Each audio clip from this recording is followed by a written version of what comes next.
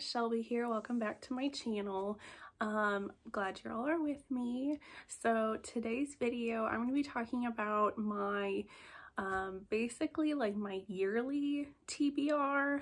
This is going to be my TBR for the, for 2022 and also kind of talking about some of my goals for the year. So yeah, so we're going to be talking about, I can't believe it's already like the end of the year.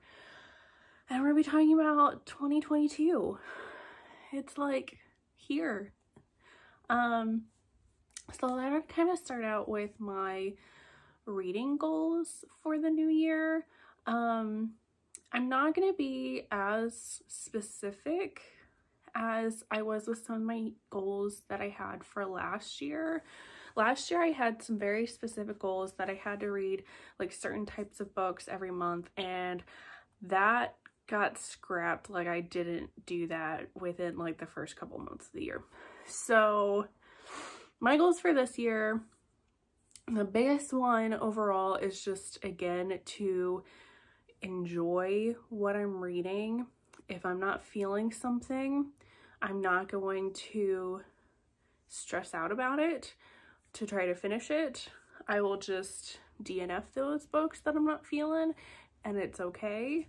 Um, and that's a big thing too. I just don't want to stress myself out about anything. Um, if I decide to do any like readathons, I'm not going to try to push myself that I finish everything in time. I really just want to enjoy myself and enjoy what I'm reading. So that being said, I would also really like to read some books that I've been putting off. So another one of my goals is to finish series, finish off like book series that I have started and I have not yet finished for whatever reason. So that is one of my goals. Um, I also would like to try to read some of my some books by like my favorite authors that I've just been putting off reading.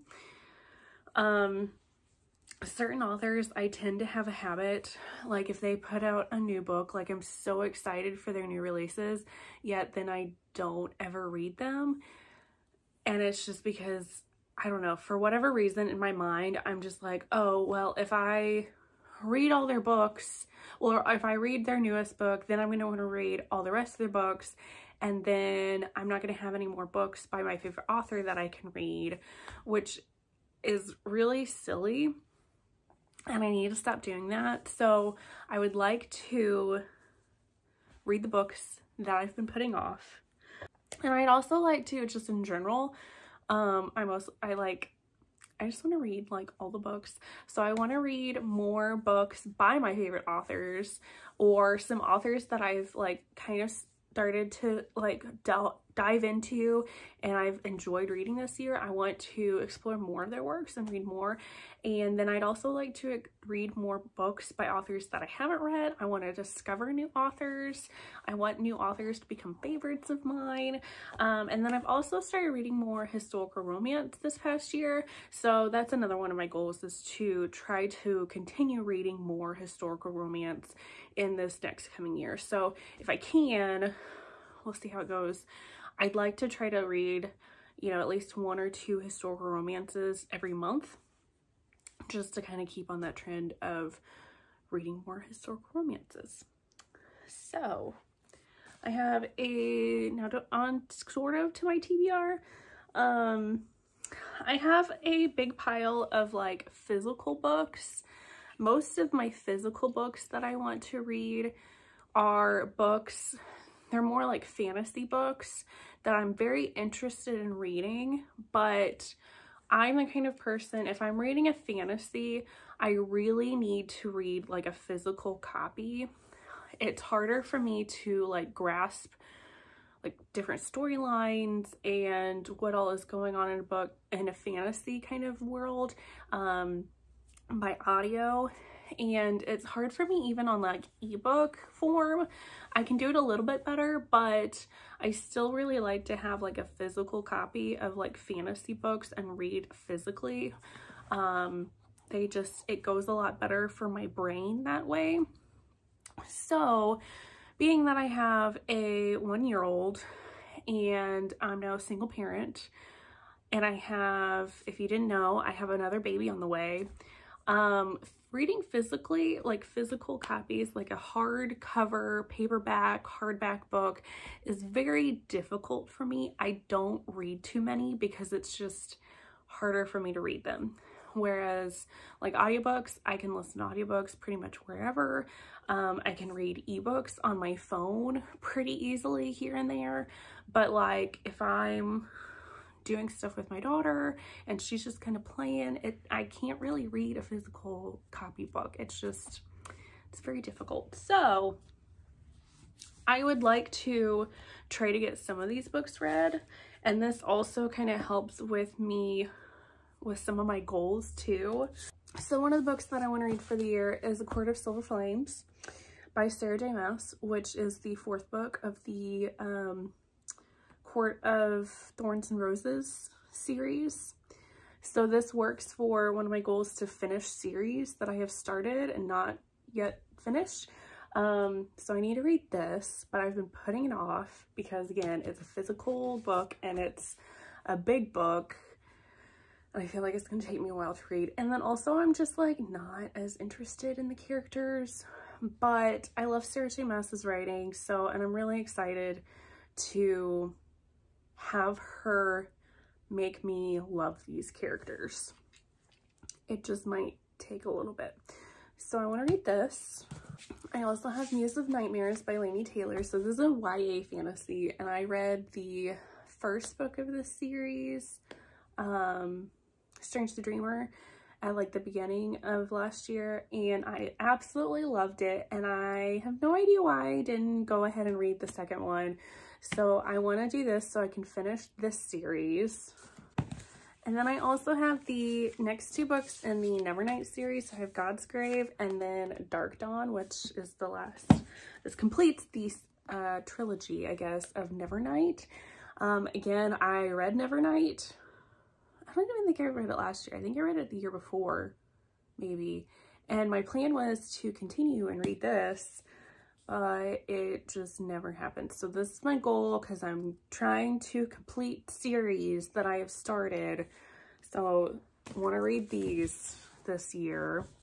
I also want to finish this series. So Sierra Simone is one of those authors that I put off reading her books because I love all of her books and I have no idea why I don't I don't know why I am the way that I am, but yes. So I read this book in this series.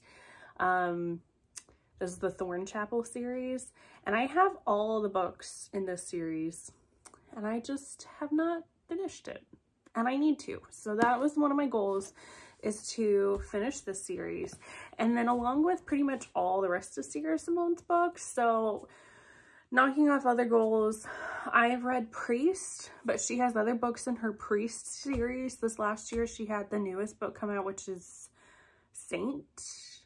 Yes. Yes, Saint just came out this past year. So I would like to finish that series.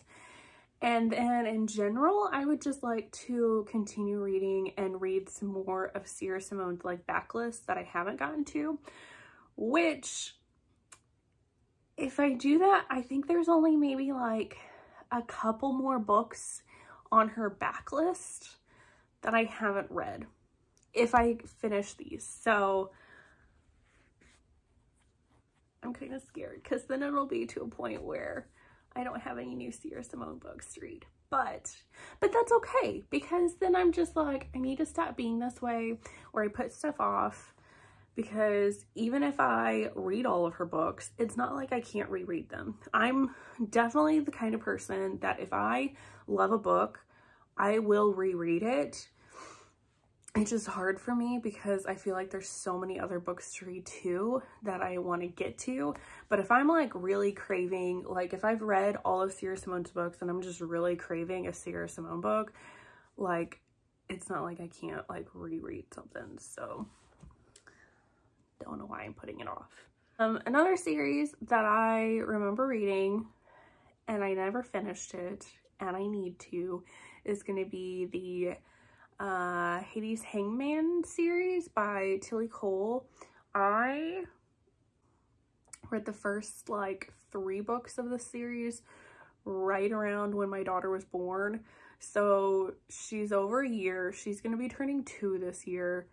And like I literally like right when she was born, I was reading those books. So it's been a while and I need to finish those because I really enjoyed that series. So I would like to continue that one. And I'm sure there's a lot of other series that I can't think of that I've started and not finished but want to. And they'll those will just come up as they come up, but I can't really remember those right now. Um, then I also have been wanting to read Ninth House by Leigh Bardugo since this book came out, and I don't even remember how long this ago this book came out, but I really been wanting to read this, especially since I think she has another book in this series coming out maybe this year. So I really need to get to this. And then I also have been wanting to read From Blood and Ash by Jennifer L. Armentrout. And this is my like exclusive I think I got this from Bookish Box, if I'm remembering correctly.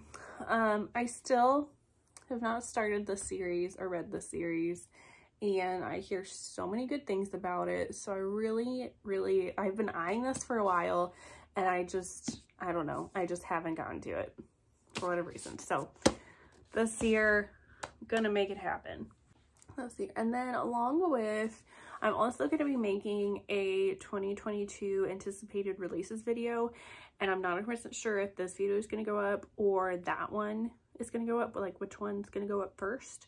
But you can just be sure that all of the books on that uh, video of my anticipated releases for the year are also going to be on this TBR. So one of the books that I'm, I'm automatically thinking of is um, the next book in the Crescent City series by Sarah J Maas, which I think comes out in like February.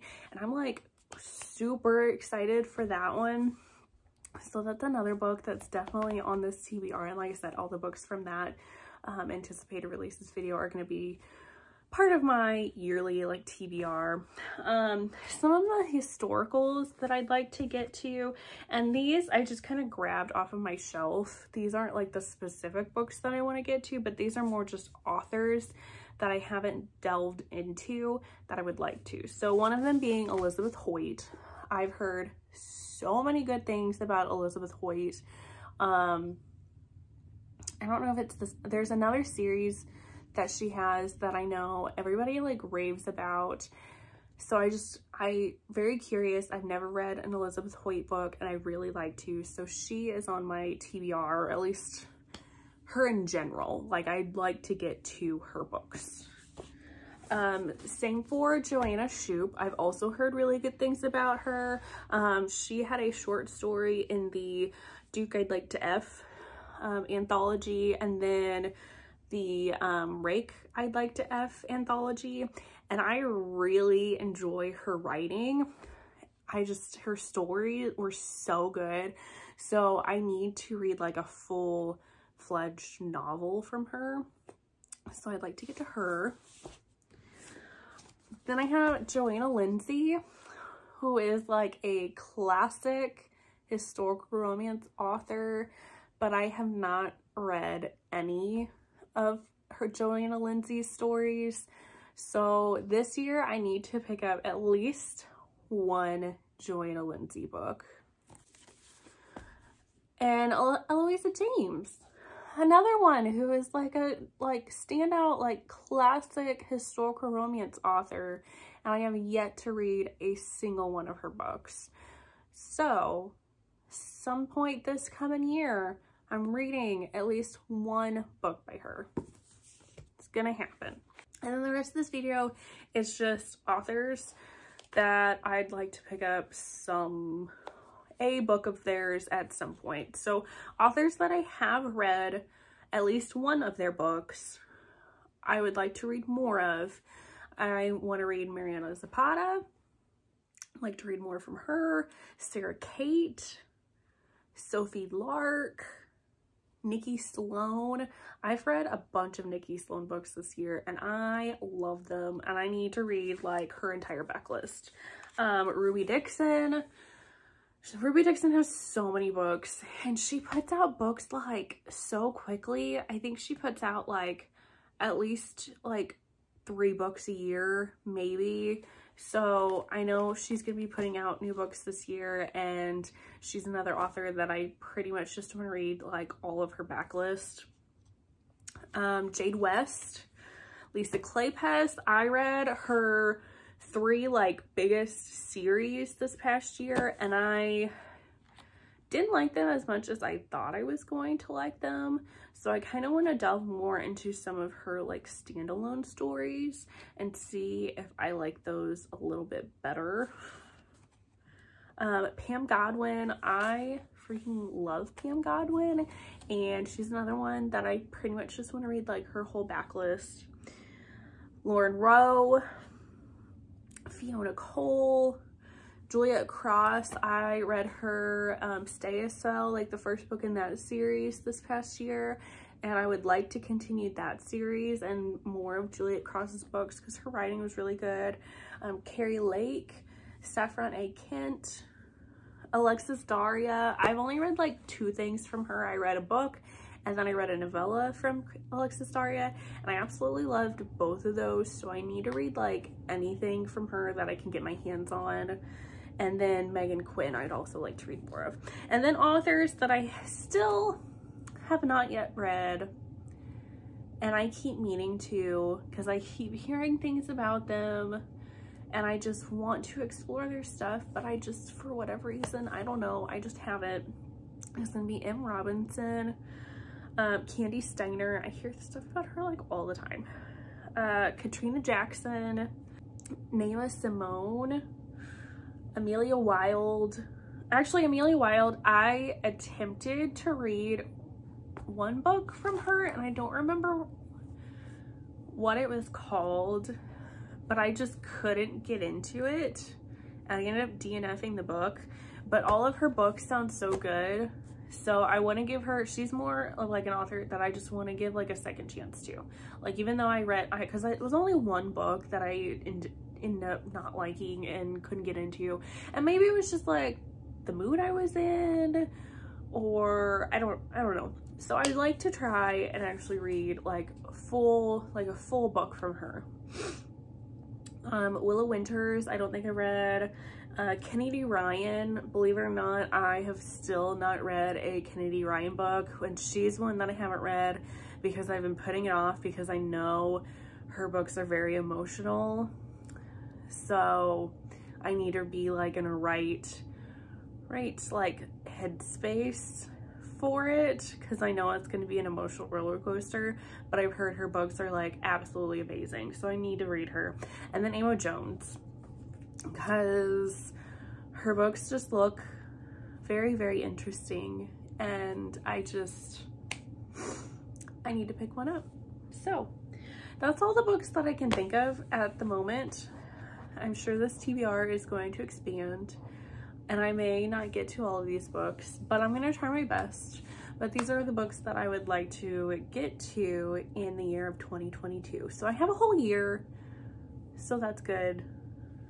Got a lot of time to get these books read.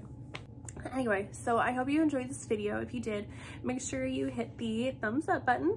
And if you haven't subscribed to me, make sure you do that. Hit that subscribe button so you can see more videos from me.